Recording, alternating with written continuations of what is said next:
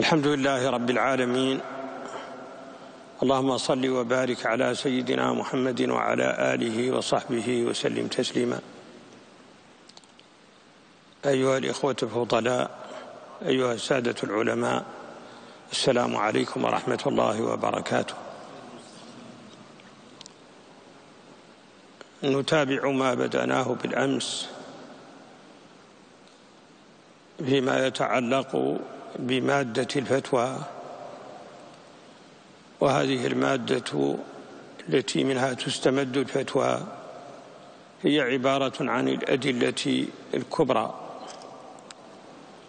وذكرنا أربعة أدلة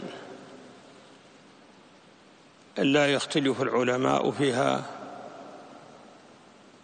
وهي الكتاب والسنة والإجماع والقياس.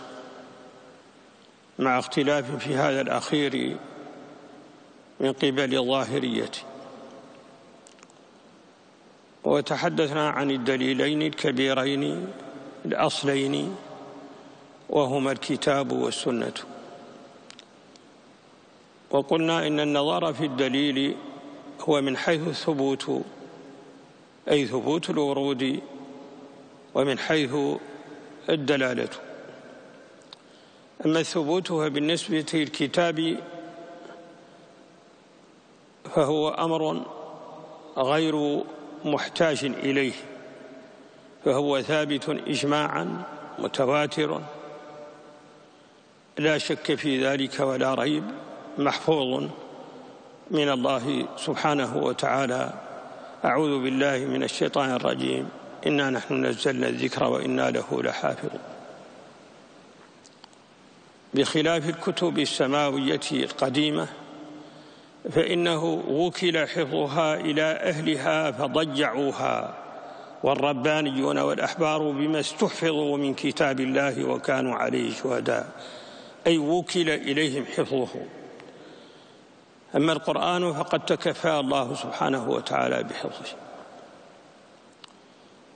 مع كل ذلك ناقش العلماء مسألة الاختلاف في الأداء.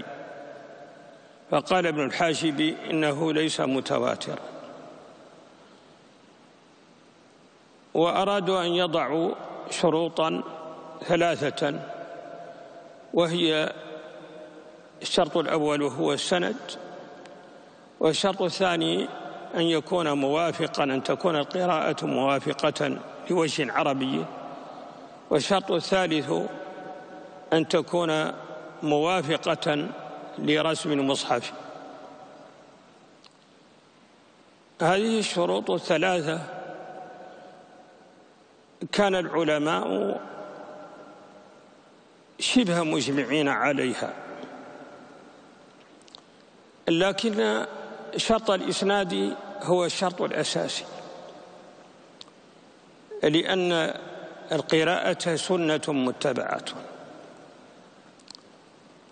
أما الموافقة للوجه العربي فإنها أحيانا تقدم بعض الإشكالات في بعض الأحرف من القراءات.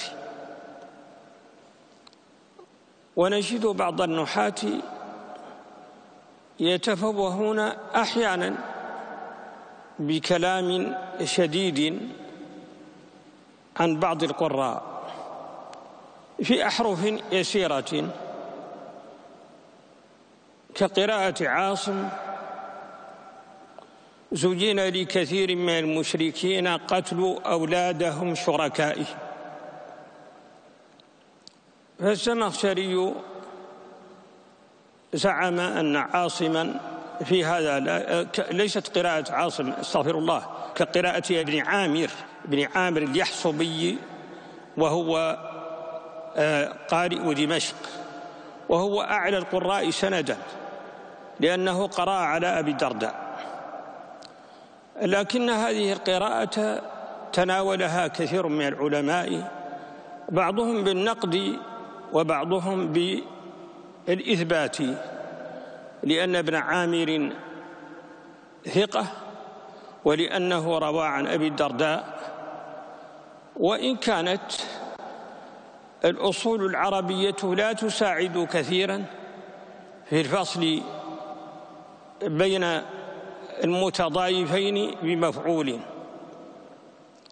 الفصل معروف بالظرف وبالجار والمجرور. وحاول الشاطبي رحمه الله تعالى أن يبرر ذلك. فقال ومفعوله بين المضافين فاصل.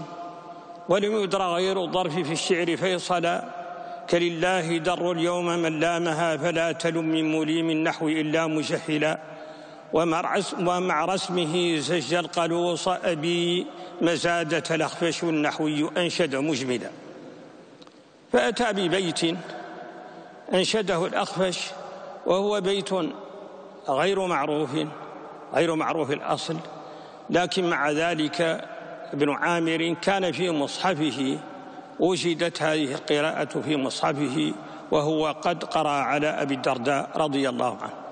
أريد من هذا هذا مثال فقط لمسألة التواتر بالنسبة للقراءات. فالأصوليون يهتمون بقضية الاحتجاج ولهذا قدموا مقدمات عن الأصول الكبرى عن تعريف القرآن عن تعريف السنة. وإن كان ما يتعلق بالقرآن هو في علم علوم القرآن. وما يتعلق بالسنة هو في علوم السنة. لكنهم في أصول الفقه قدموا هذه المقدمات ليتكلموا في الحديث عن المتواتر وهو أصحه من جهة العدد وعن الصحيح وهو الأصح من جهة السند وأنواع أنواع الصحيح. لماذا؟ ليبين ما يحتج به.